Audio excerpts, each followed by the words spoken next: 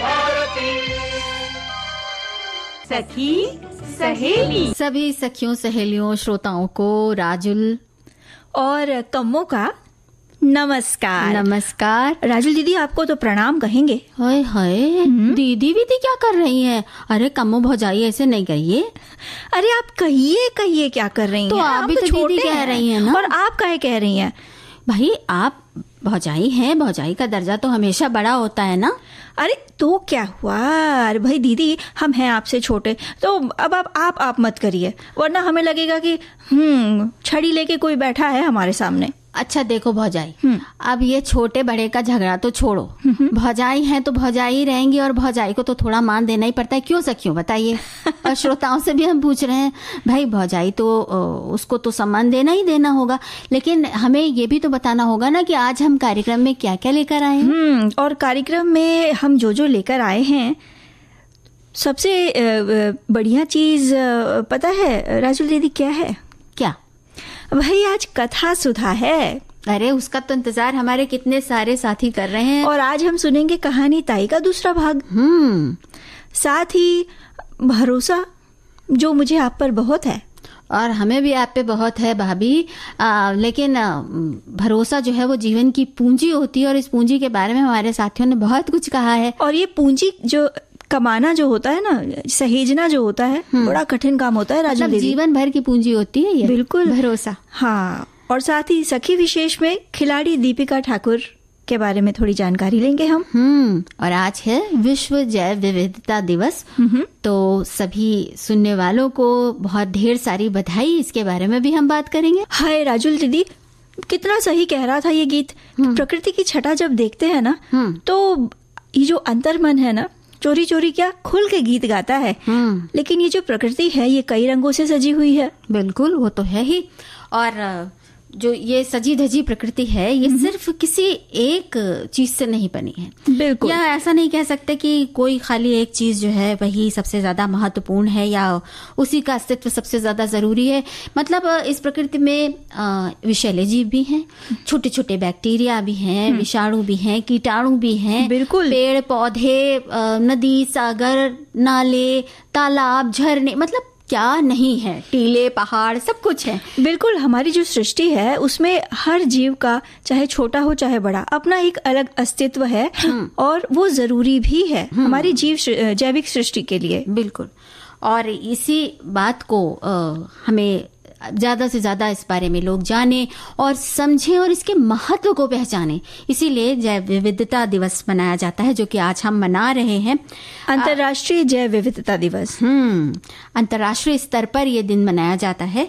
तो जैव विविधता का मतलब यही होता है कि अलग अलग किस्म का जीवन जो विविध रंगों से रंगी हमारी पृथ्वी पर खिलता है वनस्पतियों के रूप में पेड़ पौधों के रूप में। और हमने जैसा कि कहा सब बैक्टीरियाज भी हैं वो भी इसी का हिस्सा है। और तो और हम मनुष्य भी हम्म। इसी ये जो जैव विविधता है ना इसी का एक हिस्सा है या अंग है। हम्म। लेकिन ये पौधे जानवरों और सूक्ष्म जीवों की विस्तृत विविधता की बात है जो कि आज हम कर रहे हैं।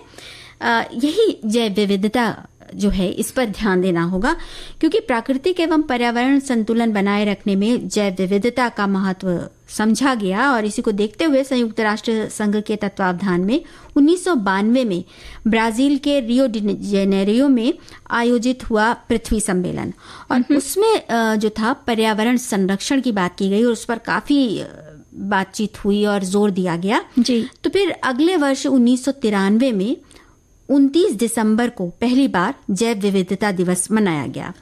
और अ, 29 दिसंबर को तब से मनाया जाता रहा लेकिन फिर आया साल 2001 तब से जैव विविधता दिवस जो है वो 22 मई को मनाने की शुरुआत हुई। और इसके बारे में अ, हमारे श्रोता भी कह रहे हैं। कि मानव जीवन में जैव विविधता का बड़ा महत्व है। और इस संसार में सभी जीवन को स्थिर बनाए रखने में ये जो जैव विविधता है वो एक अहम योगदान निभाती है। और ये पारिस्थितिकीय प्रणाली के संतुलन को बना के रखती है। विभिन्न प्रकार के पशु पक्षी और वनस्पति एक दूसरे की जरूरतें पूरी करते हैं और साथ ही एक दूसरे पर निर्भर भी हैं। और हम तो यही कहेंगे राजुल दीदी कि हम एक दूसरे के पूरक हैं। ये जो प्रणाली तंत्र है ना हम्म। उसमें अगर एक भी बीच में जो कहते हैं ना अगर कोई हट जाए पूरा अस्त व्यस्त हो जाएगा। क्या बात है कमो भाभी बिल्कुल लाख टक्के की बात कह दी आपने तो।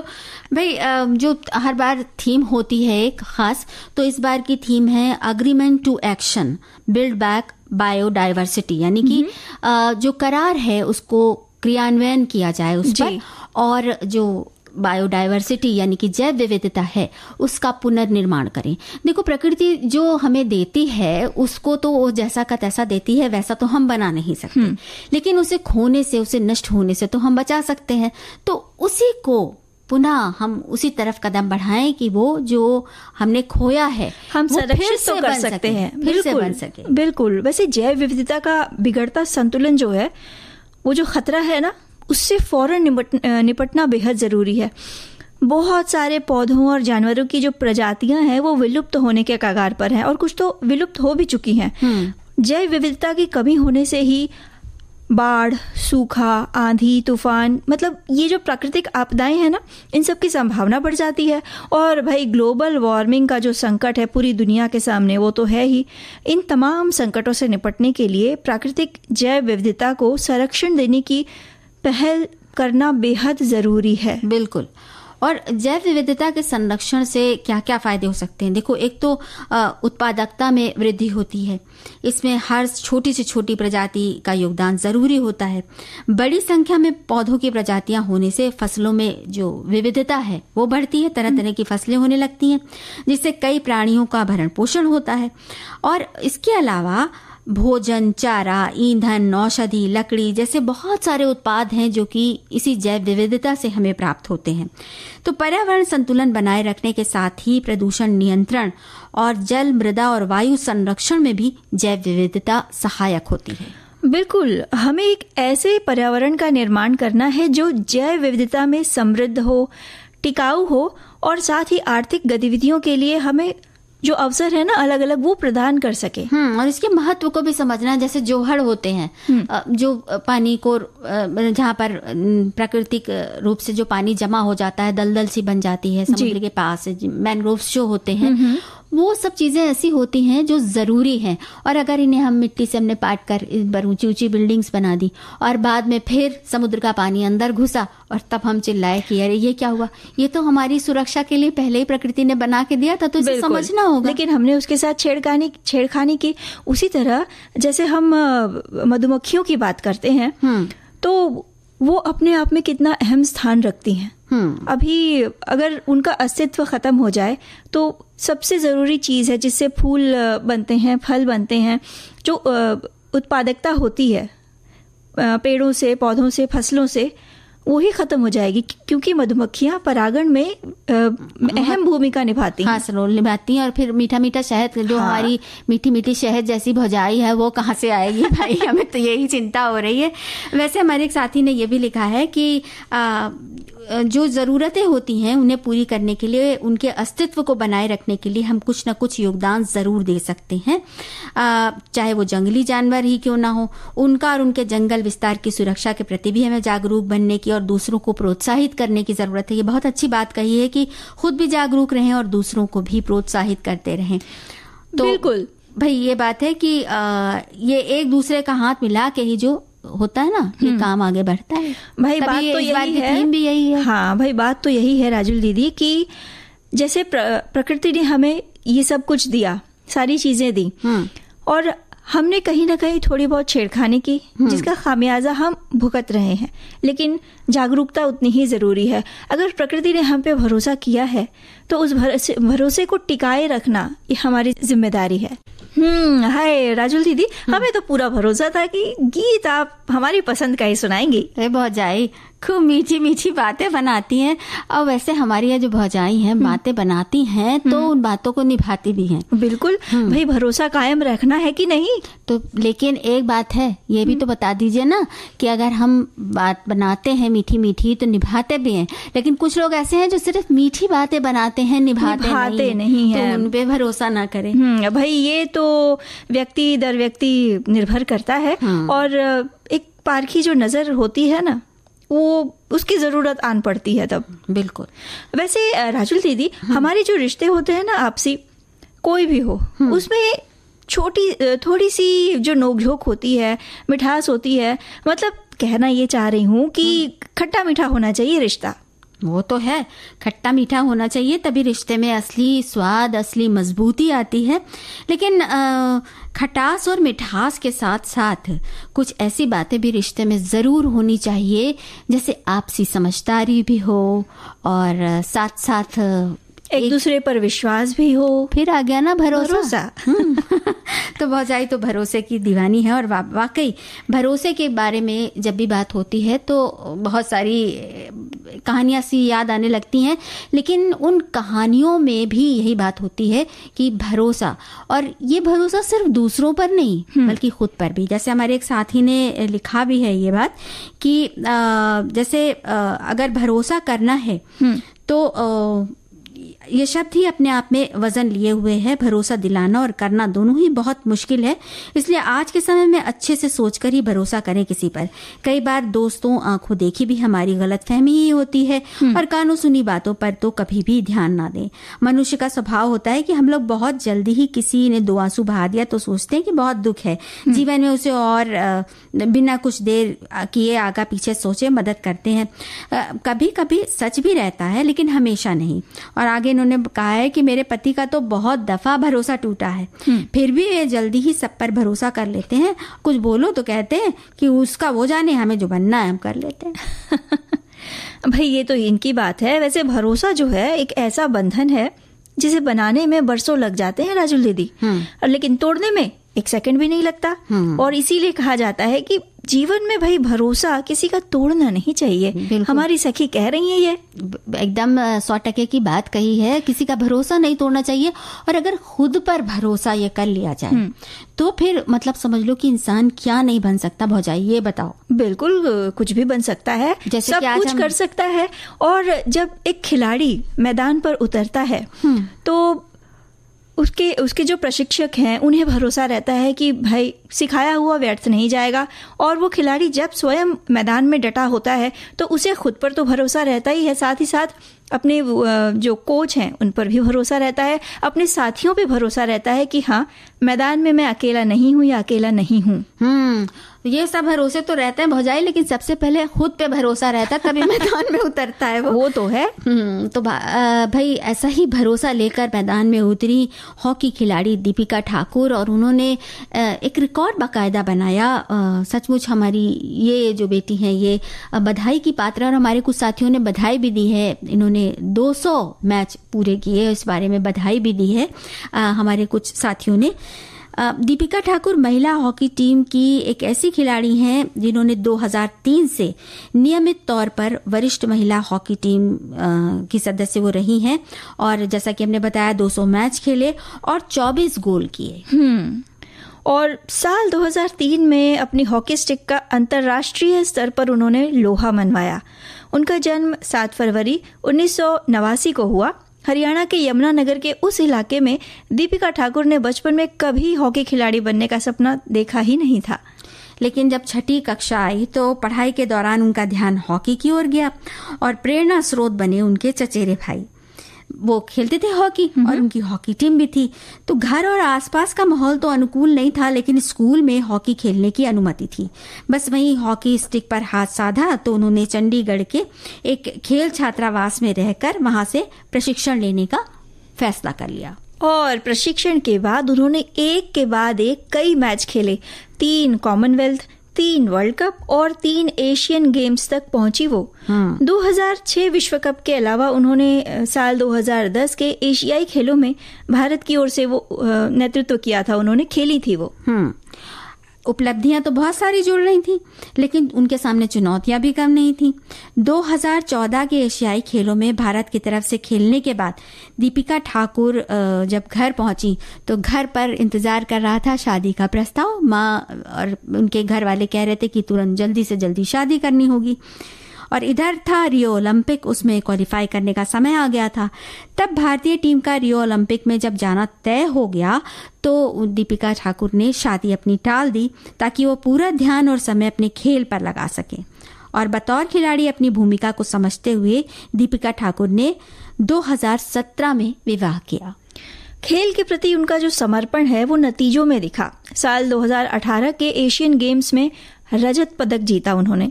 2016 में महिला हॉकी टीम ने चैंपियंस ट्रॉफी का खिताब जीता और इस मैच में दीपिका ठाकुर सर्वोच्च स्कोर हासिल करने वाली खिलाड़ी बनी। इसके अलावा ओलंपिक में वाइस कैप्टन की ज़िम्मेदारी भी उन्होंने निभाई। जापान में हुई एशियन गेम्स में शानदार प्रदर्शन कर मेजबान टीम की देश की टीम को हराकर उन्होंने ताम्र पदक पर कब्जा किया और इस जीत में दीपिका ठाकुर का अहम रोल रहा था। वैसे उन्होंने अपना दो मैच टीम के साथ महिला हॉकी विश्व लीग राउंड टू में कनाडा में चिली के खिलाफ खेला था, जिसमें इस मैच में शूट शूट आउट में चिली के खिलाफ दीपिका ने ही तीसरा और अंतिम गोल दागा था 2020 हम्म। में उन्हें अर्जुन पुरस्कार से सम्मानित किया गया खेल के साथ रेलवे में नौकरी और घर संभालने वाली रेलवे में नौकरी करती हैं और घर भी संभालती हैं ये इनका मानना ये है इनका सूत्र ये है कि हम्म। हर हाल में खुद को एडजस्ट करना चाहिए एक संतुलन हाँ, हाँ। संतुलन बैठाए रखना चाहिए सब जगह पर बिल्कुल और यही तो होता है ना कि हम्म। उन्होंने उन एक तरह से खुद पे भरोसा था हम्म। तभी वो ये सब कर पाई। हम्म। तो राजुल दीदी नाव तो तभी चलेगी ना जब नाव चलाने वाले पर भरोसा होगा? अपने बाजुओं पर अपनी पतवार पर। वैसे किसी पर भरोसा करना एक दिल और दिमाग को साथ लेकर निर्णय लेना बहुत नाजुक निर्णय होता है ऐसा हमारी एक सखी कह रही हैं। और और कुछ अर्ज़ किया है इन्होंने। विश्व जैव विविधता दिवस की बधाई भी दी है साथ ही और कहती हैं कि दीवारें छोटी होती थी। दीवारें छोटी होती थी लेकिन पर्दा होता था हम्म। तालों की इजाद से पहले सिर्फ़ भरोसा होता था क्या बात है बहुत अच्छी बात है ये तो भाई सही बात है और हमारे एक श्रोता ने लिखा है कि करीब छह महीने से हमारे घर के ओटीएस के सलियाँ पर। सलियों पर मधुमक्खियों ने छाता छत्ता बनाया हुआ है। हम्म। हम उन्हें बिना भगाए पाल रहे हैं। अब वो बहुत ही बड़ा सुंदर दिख रहा है। दूसरे को भी दिखाते हैं कि देखो इससे हमें कोई परेशानी नहीं है और हमारा भरोसा अब भी कायम है। ना हम उसे छेड़ते हैं ना हमें वो कोई नुकसान करती है। कितनी प्यारी बात है। हम्म तो देखो मधुमक्खियों की बात आपने कही ना भौजाई। भौजाई की बात वैसे सब लोग मानते हैं। आप भी तो मानती हैं। क्या करें ना भौजाई भौजाई की बात तो माननी ही पड़ती है। भाई भरोसा होता है ना। हाँ देखो ना हमारे एक साथी ने लिखा भी है कि भरोसा सब पर कीजिए पर सावधानी से क्योंकि कभी कभी खुद के दांत भी जीप को काट लेते हैं। क्योंकि उम्मीद और भरोसा कभी गलत नहीं होते ये हम पर निर्भर करता है कि हमने किससे उम्मीद की और किस पर भरोसा किया है। हम्म और भरोसा खुद पर करो तो ताकत बन जाता है। और दूसरों पर करो तो कमज़ोरी। हम्म ये तो बात है। तो भाई इसीलिए सोच समझकर भरोसा करना चाहिए। लेकिन जो भरोसे की बात जब भी आती है हम्म। तो सबसे पहले मन में बात ये आती है कि आखिर भरोसा में ऐसा क्या है कि ये पूंजी बन जाता है। लेकिन अगर ध्यान से देखा जाए भौजाई तो सबसे बड़ी पूंजी ये बन जाता है। बिल्कुल। क्योंकि आ, हम ये जो पूंजी बनाते हैं वो अपने व्यवहार से बनाते हैं। खुद से बनाते हैं मतलब जो हम हैं उसी से वो हमारी पूंजी बनती है। कहीं से धन नहीं आता कहीं से कोई और चीज़ नहीं आती कोई जेवर नहीं होते जिनसे पूंजी बनी हो। जो हमारा व्यवहार है हमारा व्यक्तित्व है उसी से भरोसा भरोसे की पूंजी बनती है। हम्म। और वही बात है ना कि जमाने में बहुत समय लगता है लेकिन खोने में एक पल नहीं लगता। एक पल नहीं लगता। लेकिन यही पूंजी है जो कि रिश्तों की बुनियाद बनती है। हम्म सही कह रही हैं आप। और भाई जब भरोसे की बात होती है ना तो बहुत शक्तिशाली शब्द है ये अपने आप में। हम्म। अगर भरोसा नहीं है तो भाई कोई भी रिश्ता नहीं है। और वैसे भरोसा राजुल दीदी सच्चाई की बुनियाद पर ही टिका रहता है। हम्म। और एक ऐसी ये चीज़ है जिसके टूटने पर कोई आवाज़ तो नहीं आती लेकिन उसके उसके जो टूटन की गूंज है ना वो जीवन भर हमें सालती रहती है। सही बात है।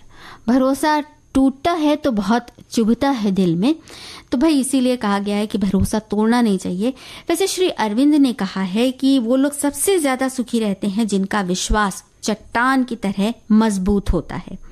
भरोसे की ताकत समय के साथ कम नहीं होती बल्कि बढ़ती ही है। और इसीलिए जब मुसीबत आती है तो फिर उस समय अकेले नहीं पड़ते जिन्होंने दूसरों का भरोसा जीता है वो लोग। क्योंकि जो उन पर भरोसा करने वाले लोग हैं वो मुसीबत में भी उनके साथ रहते हैं। कैसी भी विपरीत परिस्थिति हो वो लोग यही कहते हैं कि नहीं भाई फला व्यक्ति ऐसा कर ही नहीं सकता या वो तो ऐसा हो ही नहीं सकता। कभी गलत नहीं हो सकता। हम्म। बिल्कुल। तो, तो इसीलिए निजी और पेशेवर जीवन में व्यक्तित्व और व्यवहार कैसा होना चाहिए? ऐसा होना चाहिए कि विश्वसनीयता जो है वो बनी रहे। लोग भरोसा करें आप पे। और विश्वास रूपी पूंजी को संजो कर रखने का हमें प्रयास निरंतर करते रहना चाहिए। भाई, दुनिया में अच्छे लोगों की संख्या बहुत है।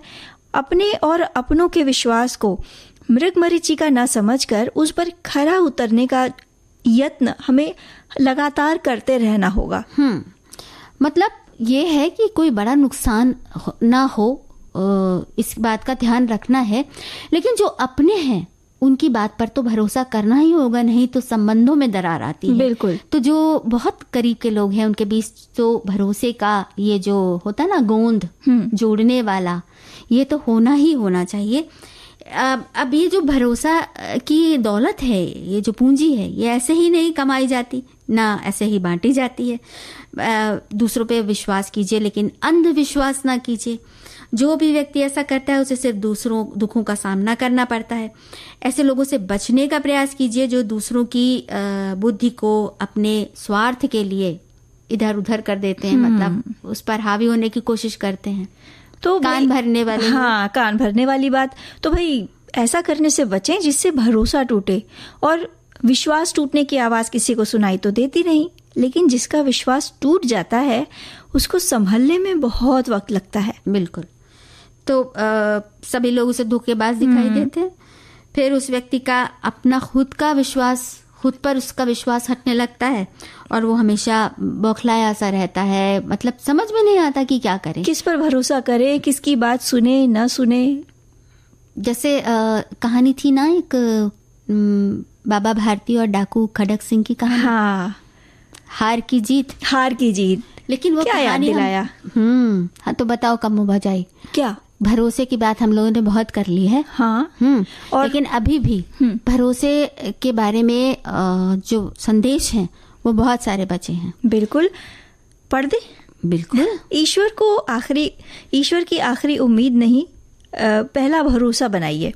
ऐसा हमारे एक श्रोता कह रहे हैं भरोसा करने वाले से ज़्यादा बेवकूफ़ भरोसा तोड़ने वाला होता है क्योंकि वो छोटे स्वार्थ के लिए एक अच्छे इंसान को खो देता है। हम्म। अगर कोई आप पर भरोसा करता है तो ये उसकी मजबूरी नहीं है वो तो आपके साथ लगाव और विश्वास रख करता है।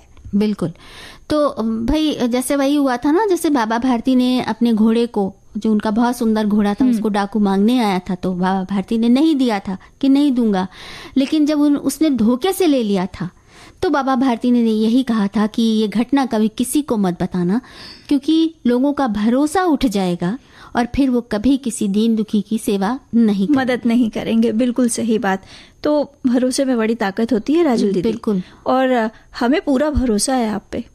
किस बारे में? भाई कहानी का इंतज़ार कर रहे हैं हम। श्रोता उत्सुक हैं। हमें जानना है कि आगे क्या हुआ। तो ठीक है हम आपका भरोसा कायम रखेंगे। सुनते हैं। कथा सुधा इस कहानी में ताई नामक कहानी हम सुन रहे थे और आज हम उसका दूसरा, भाग सुनेंगे।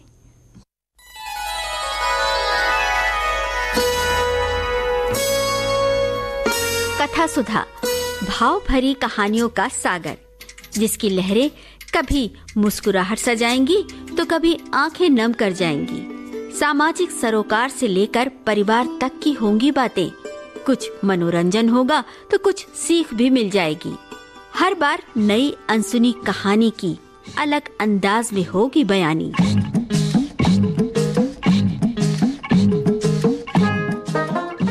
कहानी की मौलिकता बनाए रखते हुए श्रोताओं के लिए कार्यक्रम रोचक और सुगम हो, इसलिए कहानी में थोड़े बहुत बदलाव किए गए हैं। आशा है, आपको कथा सुधा में डूबना अच्छा लगेगा। पिछले सप्ताह कथा सुधा के प्रथम अंक में प्रसिद्ध साहित्यकार विशंबर नाथ शर्मा कौशिक की लिखी कहानी, ताई का, पहला भाग आपने सुना। आइए, आज इस कहानी का दूसरा और अंतिम भाग सुनते हैं। कहानी ताई के पिछले भाग में आपने सुना। रामजी दास अपने छोटे भाई की संतान के साथ बड़ा स्नेह रखते हैं, परंतु उनकी पत्नी रामेश्वरी को संतानहीनता खटकती है।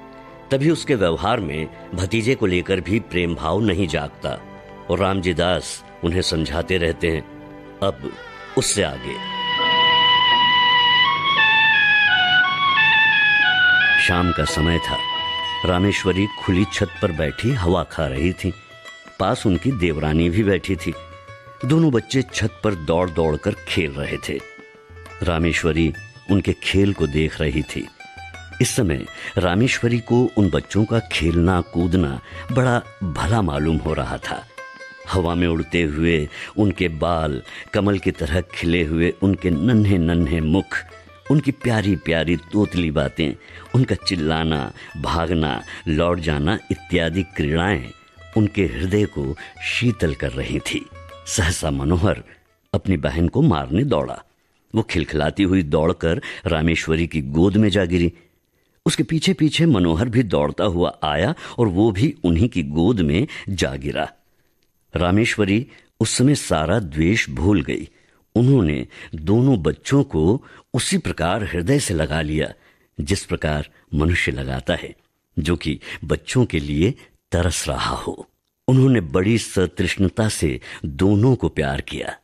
उस समय यदि कोई अपरिचित मनुष्य उन्हें देखता तो उसे यह विश्वास होता कि रामेश्वरी उन बच्चों की माता है। दोनों बच्चे बड़ी देर तक उसकी गोद में खेलते रहे। सहसा उसी समय किसी के आने की आहट पाकर बच्चों की माता वहाँ से उठकर चली गई। मनोहर, ले रेलगाड़ी, कहते हुए बाबू रामजी दास छत पर आए। उनका स्वर सुनते ही दोनों बच्चे रामेश्वरी की गोद से तड़प कर निकल कर भागे। रामजी दास ने पहले दोनों को खूब प्यार किया फिर बैठकर रेलगाड़ी दिखाने लगे। इधर रामेश्वरी की नींद टूटी। पति को बच्चों में मगन होते देखकर उसकी भौहें तन गईं। बच्चों के प्रति हृदय में फिर वही घृणा और द्वेष का भाव जाग उठा। बच्चों को रेलगाड़ी देकर बाबू साहब रामेश्वरी के पास आए और मुस्कुराकर बोले रामेश्वरी? आज तो तुम बच्चों को बड़ा प्यार कर रही थी। इससे मालूम होता है तुम्हारे हृदय में भी उनके प्रति कुछ प्रेम अवश्य है। रामेश्वरी को पति की ये बात बहुत बुरी लगी। उसे अपनी कमज़ोरी पर बड़ा दुख हुआ। केवल दुख ही नहीं हुआ, अपने ऊपर क्रोध भी आया। वो दुख और क्रोध पति के उक्त वाक्य से और बढ़ गया। उसकी कमज़ोरी पति पर प्रकट हो गई। ये बात उसके लिए असह्य हो उठी। इसीलिए मैं कहता हूँ कि अपनी संतान के लिए सोचना व्यर्थ है। यदि तुम इनसे प्रेम करने लगो तो तुम्हें ये ही अपनी संतान प्रतीत होने लगेंगे। मुझे इस बात से बड़ी प्रसन्नता है कि तुम इनसे स्नेह करना सीख रही हो। ये बात बाबू साहब ने नितांत हृदय से कही थी परंतु रामेश्वरी को इसमें व्यंग की तीक्ष्ण गंध मालूम हुई। उन्होंने कुड़कर मन में कहा इन्हें मौत भी नहीं आती। मर जाएँ और पाप कटे किसी तरह से। आठों पहर आठों पहर आँखों के सामने रहने से अब प्यार को जी ललचाई उठता है। अब इनके मारे कलेजा और भी जला करता है। बाबू साहब ने पत्नी को मौन देखकर कहा अब झेपने से क्या लाभ? अपने प्रेम को छिपाने की चेष्टा करना व्यर्थ है। छिपाने की आवश्यकता भी नहीं है। हाँ, मुझे क्या पड़ी है, है? मुझे क्या पड़ी है जो मैं प्रेम करूँगी? भैया इनका प्रेम तुम ही को मुबारक रहे। निकोड़े कहीं के। अरे? आप यहाँ आके घुसते हैं? अब एक घर में रहने में भाई कभी कभी ये हंसना बोलना पड़ता ही है। परसों की बात है जरा यूँ ही ढकेल क्या दिया? उस पर तुमने सैकड़ों बातें सुनाई। हम्म, फिर मेरे प्राण तो संकट में हैं। न यो चैन न वो चैन। तो बाबू साहब को पत्नी के वाक्य सुनकर बड़ा क्रोध आया। उन्होंने कर्कश स्वर में कहा न जाने कैसे हृदय की स्त्री है। अभी अच्छी खासी बैठी बच्चों से प्यार कर रही थी मेरे आते ही गिरगिट की तरह रंग बदलने लगी। अपनी इच्छा से चाहे जो करे पर मेरे कहने से बल्लियों उछलती है। न जाने मेरी बातों में कौन सा विष घुला रहता है यदि मेरा कहना ही बुरा मालूम होता है तो न कहा करूँगा। पर इतना याद रखो कि अब कभी इनके विषय में निगौड़े सिगौड़े इत्यादि अपशब्द निकाले तो अच्छा ना होगा। तुमसे मुझे ये बच्चे कहीं अधिक प्यारे हैं। रामेश्वरी ने इसका कोई उत्तर नहीं दिया। अपने शोभ और क्रोध को वे आँखों द्वारा निकालने लगी। जैसे ही जैसे बाबू रामजी दास का स्नेह दोनों बच्चों पर बढ़ता जाता था, वैसे ही वैसे रामेश्वरी के द्वेष और घृणा की मात्रा भी बढ़ती जाती थी। प्रायः बच्चों के पीछे पति पत्नी में कहा सुनी हो जाती थी और रामेश्वरी को पति के कटु वचन सुनने पड़ते थे। जब रामेश्वरी ने यह देखा कि बच्चों के कारण ही वो पति की नज़र में गिरती जा रही है, तब उनके हृदय में बड़ा तूफ़ान उठा।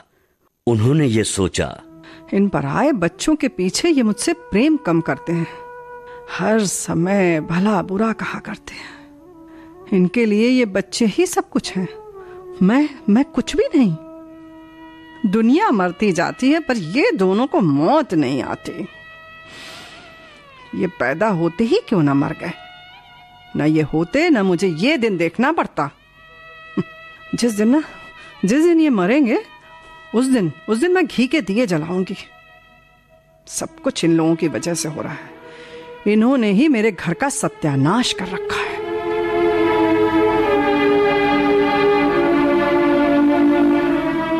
इसी प्रकार कुछ दिन व्यतीत हुए। एक दिन नियमानुसार रामेश्वरी छत पर अकेली बैठी थी। उनके हृदय में अनेक प्रकार के विचार आ रहे थे। विचार और कुछ नहीं, अपनी निज की संतान का अभाव पति का, भाई की संतान के प्रति अनुराग इत्यादि। कुछ देर बाद जब उनके विचार स्वयं उन्हीं को कष्टदायक प्रतीत होने लगे, तब वो अपना ध्यान दूसरी ओर लगाने के लिए टहलने लगी। वो टहल ही रही थी कि मनोहर दौड़ता हुआ आया। मनोहर को देखकर उनकी भ्रिकुटी चढ़ गई और वो छत की चहार दीवारी पर हाथ रखकर खड़ी हो गई। संध्या का समय था। आकाश में रंग बिरंगी पतंगे उड़ रही थी। मनोहर कुछ देर तक खड़ा पतंगों को देखता और सोचता रहा कि कोई पतंग कटकर उसकी छत पर गिरे। क्या आनंद आवे। देर तक गिरने की आशा करने के बाद दौड़कर रामेश्वरी के पास आया। उनकी टांगों में लिपट कर बोला ताई ताई हमें पतंग दिला दो। चल हट। जा अपने ताऊ के पास जा। जा अपने ताऊ से मांग जाकर। जा। दिला दो ना पत हम भी पतंग उड़ाएँगे। बड़ा आया। पतंग मंगा दो। मनोहर कुछ अप्रतिभ सा होकर फिर आकाश की ओर ताकने लगा। थोड़ी देर बाद उससे फिर न रहा गया। इस बार उसने बड़े लाड़ में आकर अत्यंत करुण स्वर में कहा दिला दो ना हम भी पतंग उड़ाएँगे। इस बार उसकी भोली प्रार्थना से रामेश्वरी का कलेजा कुछ पसीज गया। वो कुछ देर तक उसकी ओर स्थिर दृष्टि से देखती रही। फिर उन्होंने एक लंबी सांस लेकर मन ही मन कहा, ये मेरा पुत्र होता तो आज मुझसे बढ़कर भाग्यवान स्त्री संसार में दूसरी न होती। निकोड़ा मरा कितना सुंदर है और कैसी प्यारी प्यारी बातें करता है। यही जी चाहता है कि बस उठाकर छाती से लगा ले। ये सोचकर वो उसके सिर पर हाथ फेरने वाली थी कि इतने में ही उन्हें मौन देखकर वो बोला जो तुम पतंग नहीं दिलाओगी ताऊ जी से कह के तुम्हें बहुत बहुत पिटवाएँगे. यद्यपि बच्चे की इस भोली बात में भी मधुरता थी तथापि रामेश्वरी का मुँह क्रोध के मारे लाल हो गया। वो उसे झड़क कर बोली जा कह दे अपने ताऊ जी से देखे जा। वो मेरा क्या कर लेंगे? जा कह दे। बड़ा आया ताऊ वाला। मनोहर भयभीत होकर उनके पास से हटाया और फिर सतृष्ण नेत्रों से आकाश में उड़ती हुई पतंगों को देखने लगा। इधर रामेश्वरी ने सोचा ये सब इन्हीं के दुलार का फल है बड़े आए ताऊ जी। नहीं तो ये बालिष्ट भर का लड़का इस तरह से मुझे धमकाता? ईश्वर करे इस दुलार पर बिजली टूटे। उसी समय आकाश से एक पतंग कटकर उसी छत की ओर आई और रामेश्वरी के ऊपर से होती हुई छज्जे की ओर गई। छत के चारों ओर चहार दीवारी थी। जहाँ रामेश्वरी खड़ी हुई थी, वहाँ केवल एक द्वार था, जिससे छज्जे पर आ जा सकते थे। रामेश्वरी उस द्वार से सटी हुई खड़ी थी। मनोहर ने पतंग को छज्जे पर जाते देखा। पतंग पकड़ने के लिए वो दौड़कर छज्जे की ओर चला। रामेश्वरी खड़ी देखती रही। मनोहर उसके पास से होकर छज्जे पर चला गया और उससे दो फीट की दूरी पर खड़ा होकर पतंग को देखने लगा। पतंग छज्जे पर से होती हुई नीचे घर के आँगन में जा गिरी। एक पैर छज्जे की मुंडेर पर रखकर मनोहर ने नीचे आँगन में झांका और पतंग को आँगन में गिरते देख वो प्रसन्नता के मारे फूला न समाया। वो नीचे जाने के लिए शीघ्रता से घूमा परंतु घूमते समय मुंडेर पर से उसका पैर फिसल गया। वो नीचे की ओर चला। नीचे जाते जाते दोनों हाथों में मुंडेर आ गई। वो उसे पकड़कर लटक गया और रामेश्वरी की ओर देखकर चिल्लाया। रामेश्वरी ने धड़कते हुए हृदय से इस घटना को देखा। उसके मन में आया कि अच्छा है, मरने दो, सदा का पाप कट जाएगा। यही सोचकर वो एक क्षण रुकी। इधर मनोहर के हाथ मुंडेर पे से फिसलने लगे। वो अत्यंत भय और करुण नेत्रों से रामेश्वरी की ओर देख कर चिल्लाया। ताई बचाओ गिर मैं। रामेश्वरी की आँखें मनोहर की आँखों से जा मिली। मनोहर की वो करुण दृष्टि देखकर रामेश्वरी का कलेजा मुँह में आ गया। उन्होंने व्याकुल होकर मनोहर को पकड़ने के लिए अपना हाथ बढ़ाया। उनका हाथ मनोहर के हाथ तक पहुँचा ही था कि मनोहर के हाथ से मुंडेर छूट गई।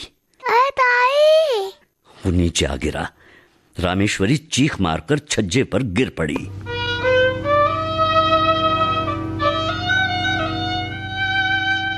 रामेश्वरी एक सप्ताह तक बुखार से बेहोश पड़ी रही। कभी कभी ज़ोर से चिल्ला उठती थी और कहती थी, देखो देखो, वो गिरा जा रहा है। उसे उसे बचाओ। अरे, दौड़ो दौड़ो, मेरे मनोहर को बचा लो। बेटा मनोहर बेटा मनोहर, मैंने तुझे नहीं बचाया। कोई कोई बचा लो। हाँ मैं मैं मैं मैं ताई मैं ताई हूँ। मैं चाहती तो बचा सकती थी, लेकिन आए, मैंने देर कर दी। मनोहर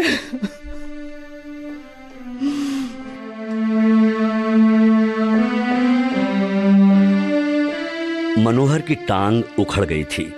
टांग बिठा दी गई। और वो फिर अपनी असली हालत पर आने लगा। एक सप्ताह बाद रामेश्वरी का ज्वर कम हुआ। अच्छी तरह होश आने पर उन्होंने पूछा सुनो। हाँ सुनो जी मनोहर कैसा है? अच्छा है। हाँ उसे जरा मेरे पास लाओगे? बुलाऊं से हाँ उसे मेरे पास लाओ। अभी लाता हूँ। मनोहर रामेश्वरी के पास लाया गया। रामेश्वरी ने उसे बड़े प्यार से हृदय से लगाया। आँखों से आंसुओं की झड़ी लग गई। हिचकियों से गला रुंध गया। रामेश्वरी कुछ दिनों बाद पूर्ण स्वस्थ हो गई। अब वो मनोहर और उसकी बहन चुन्नी से द्वेष नहीं करती। और मनोहर तो उसका प्राणाधार हो गया। उसके बिना उन्हें एक क्षण भी कल नहीं पड़ती।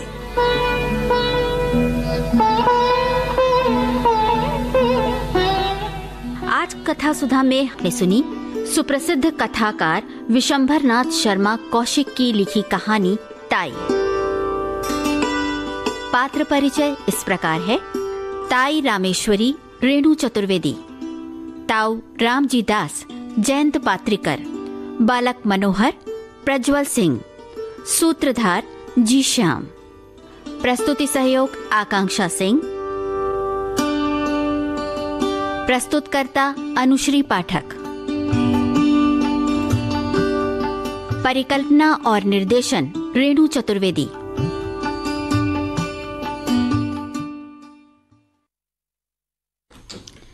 तो भौजाई हमने तो कहानी ताई का दूसरा भाग सुन लिया।